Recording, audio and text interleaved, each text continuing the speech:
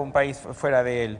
Pero encuentro que mm, eh, no es realmente una democracia eh, en el sentido de que no puedes entender que sea una democracia un régimen que censura los medios de comunicación, que elimina señales a los medios de comunicación, que cierra canales de televisión, que permanentemente mantiene una presión continua sobre periodistas, escritores, eh, figuras del país, sobre la opinión que tienen que tener, sobre la manera que tienen que expresar esa opinión. Eso es, es comprobado.